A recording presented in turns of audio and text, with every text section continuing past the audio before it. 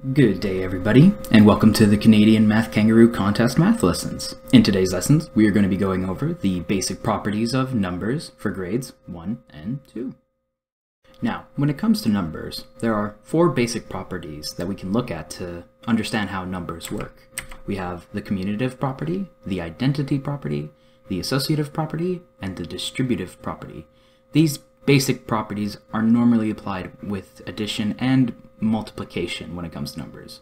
So let's go over them. For the, for the commutative property, in addition, the sum of the numbers is the same regardless of, it, of its orders. So, for example, if we have 1 plus 2 or 2 plus 1, these will both give us the same answer. It doesn't, num doesn't matter which number comes first, what number you're adding before the next, you're always going to get the sum, and in this case, you're going to get 3 for both of them. The next identity property, in addition, says that adding any number to 0 is equal to the number itself. So, you know, kind of self-explanatory. If we were to add 0 to 7, we're going to get 7. Or 0 to 15, we'll get 15 as well. For our next property, it will be the associative property. And in addition, this means that the sum of two or more numbers is always the same regardless of the way you group them. So, for example, if you have 1 plus 2 plus 4, we can add 1 and 2 first, which will give us 3, and then we can add 4 to it, and which will give us 7. Or, if we wanted to, we could go add the 2 and 4 first, which will then give us 6, and then we can add the 1 to the 6, which also will give us 7. And our last and final property is the distributive property. This property involves multiplication and addition. So for example, if 2 brackets 3 plus 5, you will learn that sometime in the future that brackets in math means multiplication. So we can use the distributive property to expand the statement into 2 times 3 plus 2 times 5, which if you were to add this up with multiplication will give you 16. So let's get into some examples to better understand what these properties work in, uh, in app and questions.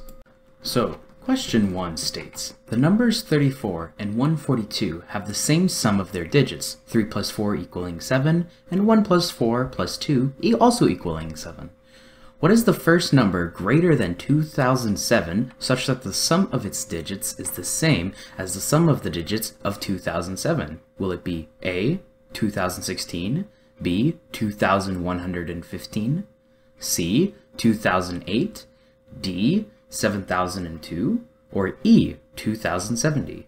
And you can pause the video and try to solve the question for yourself first, and then we can check it out afterwards.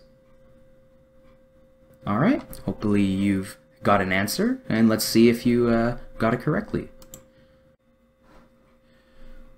So, the first thing we're going to want to do with this question is to first figure out what the sum of the digits of 2007 are. That way we know what we can compare the other numbers with. So we can do this simply by going 2 plus 0 plus 0 plus 7, giving us 9. And so now that we know that we are looking for uh, the digits to add up to 9, we can just start going one by one with each one. So we can first start with A of 2016, so 2 plus 0 plus 1 plus 6, giving us 9. So we know that this might be one of the answers. And then we will move on to B, and we have 2,115, so we can go 2 plus 1 plus 1 plus 5, giving us 9 as well. And moving on with C, having 2008, we can go 2 plus 0 plus 0 plus 8, giving us 10. And then with D, we have 7002, so this will be 7 plus 0 plus 0 plus 2, giving us 9. And then we have our final one, uh, E, 2070, of 2 plus 0 plus 7 plus 0, giving us 9 as well. Now, we know that we are looking for uh, a, a, value that has that its digits equal up to the same as 2007, which is 9. So we know we can cross off C as our answer because it gave us a sum of 10, which is not what we're looking for. And now we can simply order up our remaining numbers, which are 2016, 2070, 2115 and 7002. And, as the question states, we want to find the first number greater than 2007 where the sum of its digits is the same as the sum of the digits of 2007. So, because we know that these four have the same sum, we just have to look for which number comes first after 2007. And this will be A, 2016. Alright, on to question two. So question two states that Peter wrote a one-digit number and then wrote an additional digit to its right. He added 19 to the obtained number and got 72. What number did Peter write first? Was it A, 2, B, 5, C, 6, D, 7, or E, 9? And you can pause the video and try to work out an answer for yourself first. Alright, let's check it out and see if you figured out the answer. So, with this question, what we're going to be doing is we're going to kind of follow what Peter did and have some, when we're kind of unsure in the specifics, we're going to kind of have empty templates so we can fill it in later once we figured out what these numbers are. So, as it states, Peter wrote down a one-digit number down. So, what we're going to do is we're going to have an empty box here, which will represent this one-digit number that Peter wrote down. And even though we don't know what that digit may be, we can just use this as a representation of that. Then, he wrote an additional digit to its right. So he added a second digit to the next of it. So we're going to have a second box here to represent that second digit. Then he added 19 to the, to the obtained number and got 72. So we know that he added this sum number down here, he added 19 to it, and it gave him 72. So if we want to figure out how to get this number here, well, we know that he took whatever this number was and added 19 to it, and it gave him 72. Now we know that subtraction is the opposite to addition, so we could take this 72 and subtract it by this known number 19, and it will give us the number that he initially wrote down first. So if we go 72 minus 19, it'll give us 53. Now, the question asks, what number did Peter write first?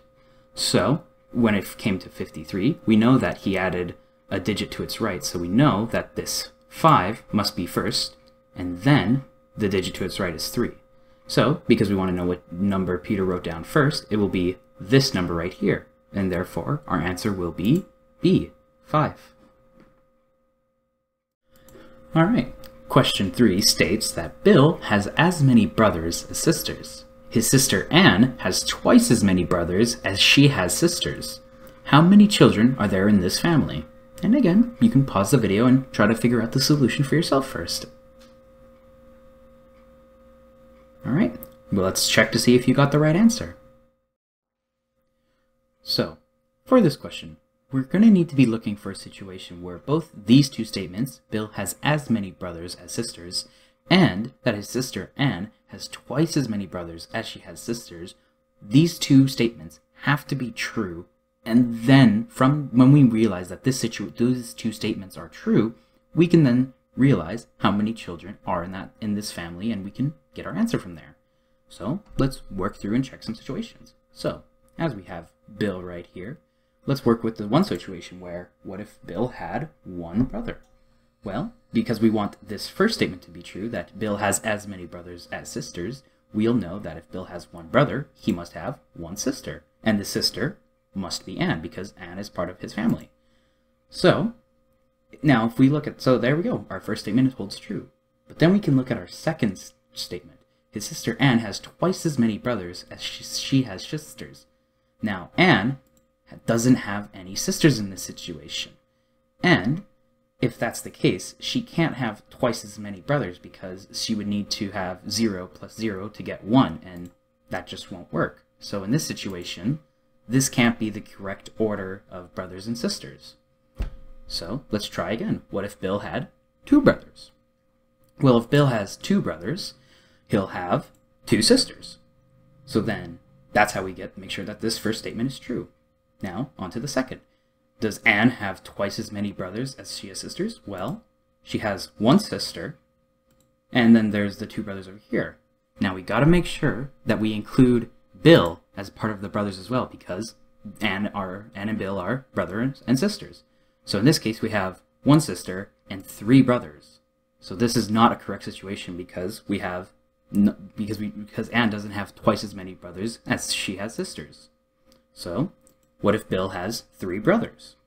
Well, if Bill has three brothers, if we want our first statement to be true, then he must have three sisters. So in this situation, Anne has two sisters. And how many brothers will Anne have? Well, she'll have four brothers. So, in this case, Anne will then have twice as many brothers as sisters. And then we can count how many children are in this family. And this will be one, two, three, four, five, six, seven. So, from this, these two statements are true, and we know how many children will be in this family because these two statements hold true, and that will be B, E, 7. Alright, on to question 4. A palindrome is a number which remains the same when its digits are written in reverse order. So, for example, 1331, if you were to write it backwards, would be 1331. So this would be a palindrome. A car's odometer reads 15,951. Find the least number of kilometers the car should travel for the next palindrome to appear on the odometer. Will it be A, 100, B, 110, C, 710, D, 900, or E, 1010? And again, you can pause the video and attempt the question for yourself first, and then we can check it after. Alright, hopefully you have the right answer. Let's check it out. Alright, so with this question, we're going to start with our number, 15,951, and we're going to showcase some important aspects to palindromes that'll help us out here in figuring this question out. So since the numbers must be written the same if we started backwards, we know three things from this. The first being that our first and last digit must be the same. In this case, they are both 1. And secondly, we know that the second and fourth digit must also be the same. In this case, they are both 5. And third, that our middle digit can be any number we want since we have a fifth five-digit number and there's and it's right in the middle. So whatever it is, it will be the same regardless of which way we write it. So this number has a lot of freedom in what it can be. Now, we know we can't have a palindrome that first digits start with 15 because if we did, it would lock the fourth and final digit, position being 5 and 1 in this case for the fourth and fifth digit respectively. Now, we know we can't have 15 because our middle digit 9 is at the highest it can be, and if we want a number that is greater than this one, we have to keep going higher. So because of this, we know we can't have another 15 number, so we know that we must start with a 16. And because we want to have the next available number, we have to have our middle digit, which has the most freedom in this case, to be as low as possible. So 0 is the lowest number possible, and that must be what our middle digit is. So, since we know the first and second and third digits, we can figure out our fourth and fifth digits, this being a 6 for the fourth and a 1 for the fifth. So, this our next earliest available palindrome for us will be 16,061. Now, since the question is asking us the least number of kilometers to reach the next palindrome, we can simply take our new palindrome and subtract it from the original palindrome to find the difference between the two. So we can simply go 16,061 minus 15,951 and it'll give us 110. And also with this we now have our answer, which is B, 110. And this will conclude our lessons for the day. Thank you for your attention during our lesson. If you are in need of extra information, you can check the Math Kangaroo website, mathkangaroo.ca, or you can send an email to info at mathkangaroocanada.com with your questions. Thank you again for your time, and have a wonderful day.